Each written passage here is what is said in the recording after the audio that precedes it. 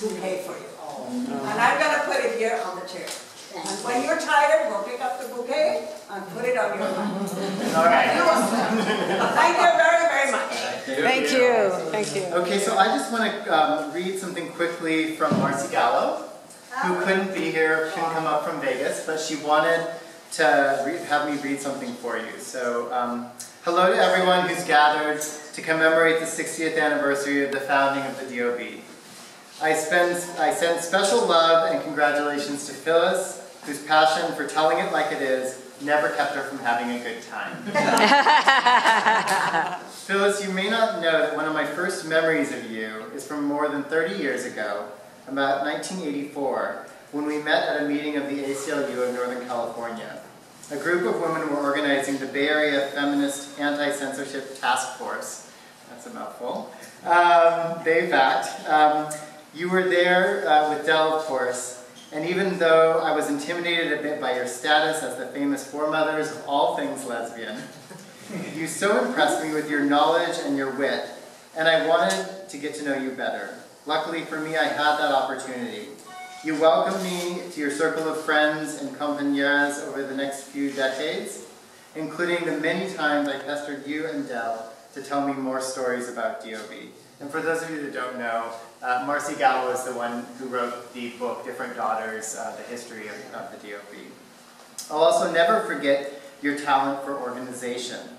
During one of my visits to you in about 2002, you were able to produce names, addresses, and telephone numbers for dozens of former daughters, some of whom you hadn't seen for years, but still recorded in your address book. I remember you saying to me, don't just talk to us, go talk to them. We just got things started, but it took the efforts of a lot of women to make DOB. You gave me that advice in your living room on Duncan Street, one of the lesbi- legendary lesbian sites for activism and great parties. then and now, Phyllis, I thank you for opening your home and your heart to me and to so many of us, and for being such a staunch and sexy role model. You, you show all of us. You showed all of us how to put the social in social change. I, I hope to see you again very soon with big love from me and Annie, Marcy Gallo.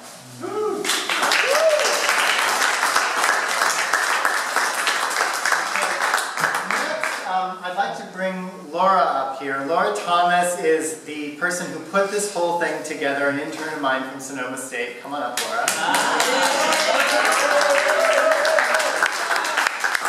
And Laura wants to read uh, something that actually came from our archives um, uh, and relates to what Marcy just said. Yes. Um, yeah, I was going through the archives and I came across this piece. It's um, titled A View from the Closet and Don and I both thought that it kind of accurately showed the um, personal and long-lasting impact that the DOB has had. Um, so it starts, on Wednesday evening, January 10th, a day to be remembered in infamy, I ventured outside my closet to poke my nose into the world, my world. I knew there was a world out there because I'd heard about it and occasionally witnessed a small portion of it at the study in La Cave.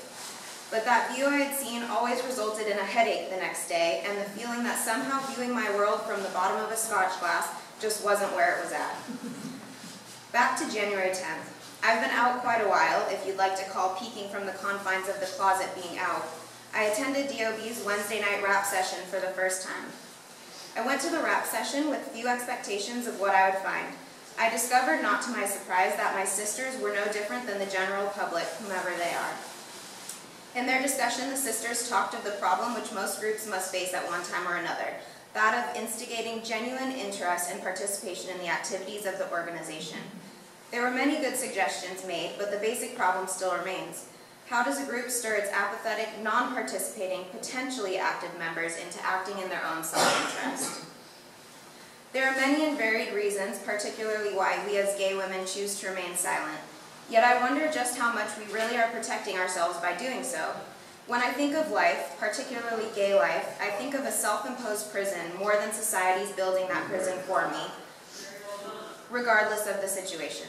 I also think that if life and love are as precious as they appear to be, then it is extremely important that I do not permit these treasures to be contained within four walls, which are man-made. Living from breath to breath is just not where it is at, if by doing so I am only nourishing the body and not the soul. If we view life as an evolutionary and educational process, perhaps we may draw an analogy. Using our physical senses of sight, taste, touch, smell, hearing, we are communicating to and receiving communications from the environment around us. If we do not sample new experiences of the senses, such as light and dark, bitter and sweet, hot and cold, fragrance and stench, soft and loud, we do not evolve and learn. We may, by ill use of our senses, begin to believe that all things are dark, bitter, hot, smelly, loud, etc. Quite the same if we do not venture out, walk with different or similar people as ourselves, if we do not risk, conquer, fall, step forward, or sometimes backward, we do not evolve and learn mentally, emotionally, or spiritually. We do not begin to feel either apart or as significant as others. Neither do we develop a self-image from which to determine the need for growth or change in our lives. Thus, inside our self-imposed prisons, we learn only a small fraction about ourselves and virtually nothing in reference to others, particularly those like ourselves in the gay community. Regardless of the risk which may or may not exist if we step forward, our love and understanding of one another would sustain us over the rough spots of really and truly coming out. We owe it to ourselves to take our rightful place in society and by example lead the way for others to overcome their own fears and ultimately the fears of society. Yes, there's a world out there, our world. It is much larger than four walls and a lot better than a prison.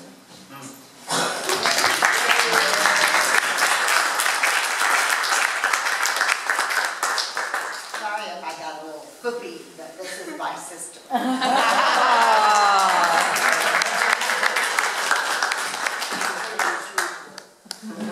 All the way from Berkeley, right? All right. Hello to you. Um, why don't we have Kate come Yeah. up and speak next? Kate Kendell from the National Center for Lesbian